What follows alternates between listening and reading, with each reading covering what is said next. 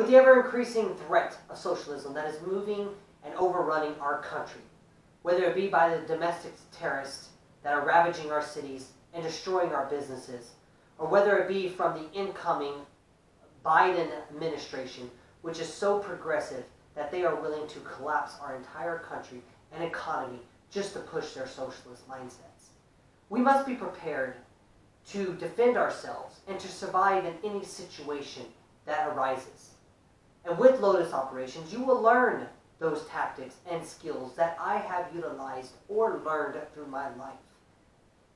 But in today's video, I am going to be actually showing you a prototype armor that I have created by blending many different ideals together into one to where if this works, and I hope it does, that I will be able to stop up to 30 full metal jacket AR-15 556 rounds.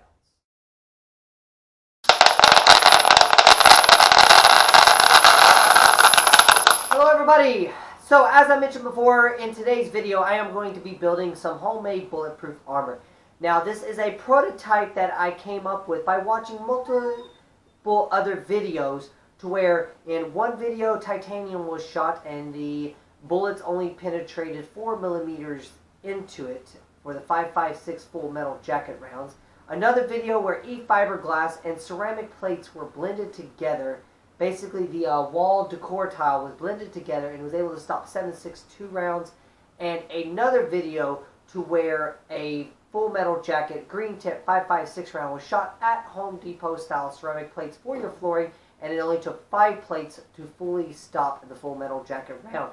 So I am taking the ideals of, from both the titanium and the ceramic plates, combining them together, and hoping to actually create a vest that weighs, unfortunately, is going to be about 10 to 12 pounds, but that can stop multiple 5.56 armor piercing rounds. So Hello everybody, welcome back to day one for our attempt at building some body plate armor. But my version, uh, there's lots of versions out there on YouTube, but I have a theory by watching multiple videos of a combination that may end up working to where unfortunately it's not going to be lighter than armor you can buy online because I found armor that weighs less than 5 pounds and each plate of ceramic weighs about 4 pounds depending upon how much ceramic and what it is made of.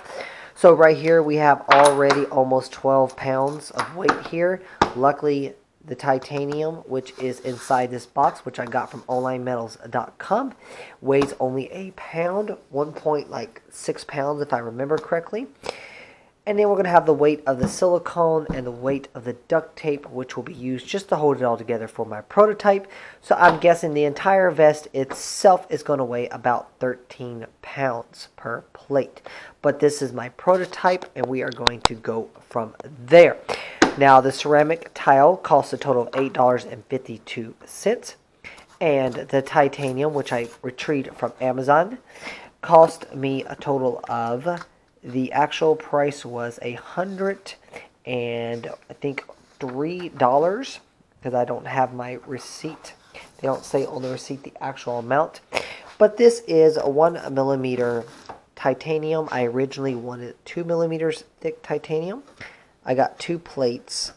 But unfortunately the two millimeters was not available at the time frame and there was going to be a wait list and so I decided just to get two one millimeter plates because they are $51 a sheet. They were on discount from $75 a sheet. And I'm not banking with the high rolling money, so I'm going to push this vest to the limits. But that is basically what my channel is to do, is to push things to the limit to see how far we can go to make stuff work while spending the least amount of money. Now, I know that you can have other materials that are fle not flexible, but that are cheaper than titanium and that can still stop bullets. But I'm trying to create a flexible style um, vest that basically can easily be bendable yet cheaper than an online vest. Now my titanium here is has a yield of PSI of 48,600 psi and tensile strength of 72,500 psi. So hopefully this stuff is strong enough to stop 556 full metal jacket rounds mixed in with my ceramics because I know a Full Metal Jacket rounds already has about 5,500 psi for a 55 grain bullet, if I remember correctly. So I know it's going to just titanium by itself punch through, but I'm thinking if we mix it in with the ceramic plates, it will actually be able to resist the bullets and actually you would be able to make a plate for only $110 at the moment. So okay, everybody, here we go. So what we are going to do is we are going to start filling in the silicone around the edges here, throughout this thing here. And we are going to take and we're going to smash it into this and then spread it around so we can create a silicone style base on all three of these. So let's get this going. And it doesn't matter if these get dirty because the silicone will act as a shock absorber which will help shot, send the shock of the bullets around your body instead of into your body. And it will keep a shrapnel from flying up and hitting you in the face.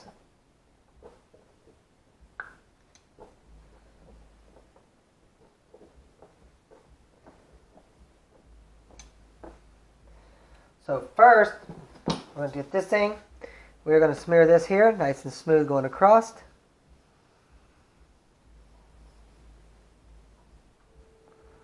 I'm going to do it this way, pushing it down into the silicone. You want to seal up all the edges. Pushing it down into the base.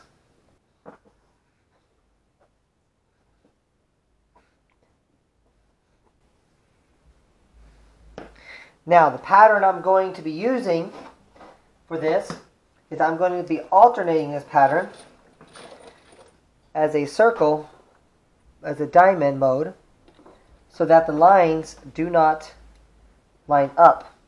So it creates a stronger base seal around, and then whatever ones are left, we are going to pull them off. So we're going to do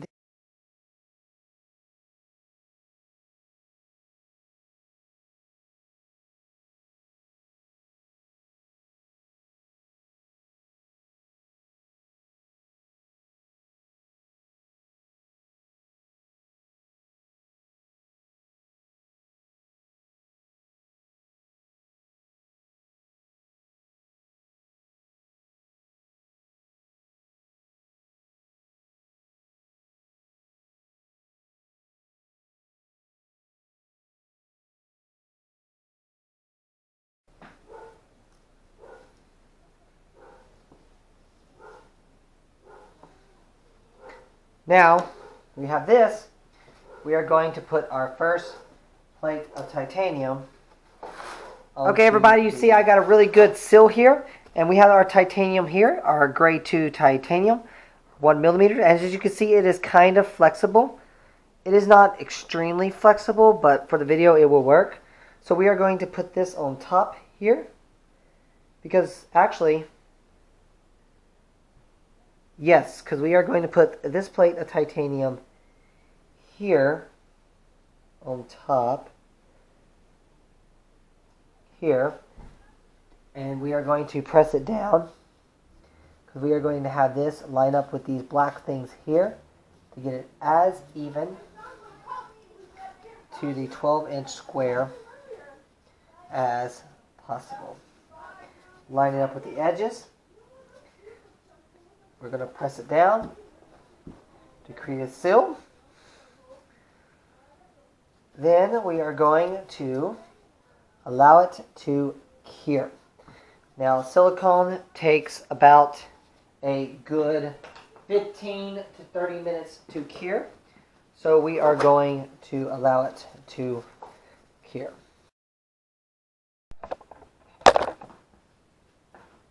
Okay. So, we have our titanium here, our other piece here of our titanium. We are going to basically put stuff on this titanium, stick this piece on top of this piece, put these on top of this piece, and then let it do a fuel, full cure. So we're going to basically repeat the same process, coat this with silicone, put this on top of here, and then coat this with silicone and put the entire mechanism on top of here to create the plates. So let's begin that process. So round two silicone, so that means it's now $113. As you can see, it's a different type. Really doesn't matter which ones. We are just creating this to hold everything together. Come on. Stop the pressure.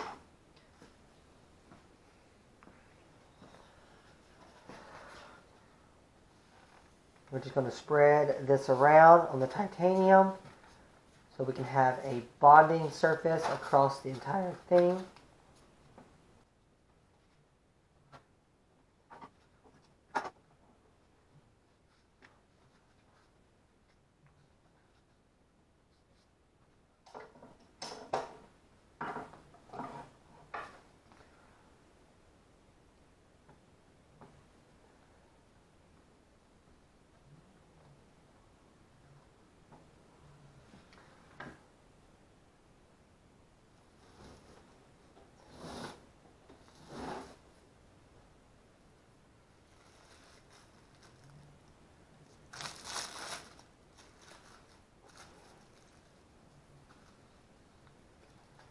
Now, before I put it in, as you can see, the silicone is through all the grooves, which will help create a seal. So we are going to do this here. We're going to flip this over on top of this.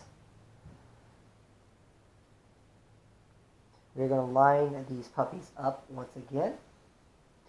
The edges. Now this is not my prototype, so I'm not cutting this out for my chest specs just yet.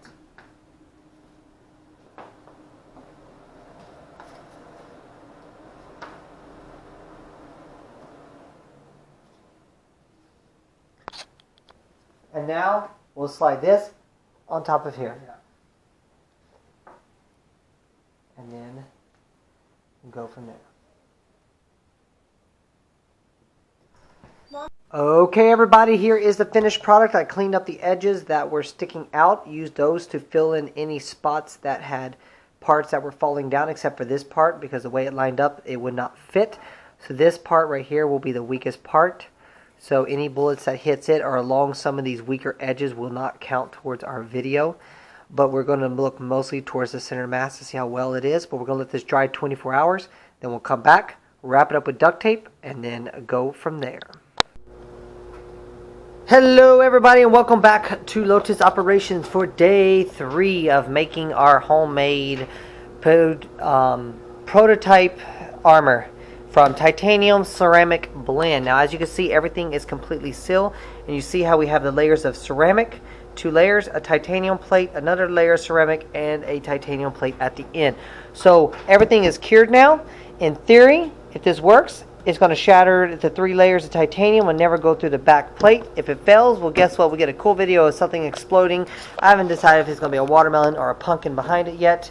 But let's begin wrapping the duct tape. Now, the reason why I'm going to use duct tape is to keep this shrapnel from blowing off everywhere and damaging the integrity more to weaken it down. The duct tape will help secure everything so that the concussions and the other stuff basically is more contained in here. But I'm also going to do another video where I'm going to test some without duct tape, test some with duct tape to see what is better. So let's begin the wrap. All I'm going to do is I'm just going to wrap it this way and then wrap it this way with a layer of duct tape each and then we will have fun waiting to be shot.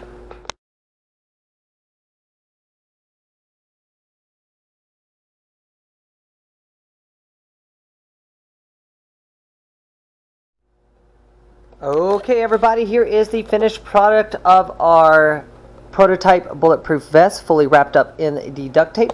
One layer one direction, one layer the other direction. And what I'm going to do now is just wait until I go to the gun range to be able to shoot it to do the um, test run on it. I may paint my um, emblem on here for my YouTube channel. But I'm going to make a couple more of these, but without titanium. I'm going to try different materials, but I'm not going to show you all the videos for those. It would basically be the same process, but I will explain what is inside each one of those. And then we are going to see, um, so we have some fun shooting videos. And But this is what I'm waiting to test and see if exactly if it's going to work or not.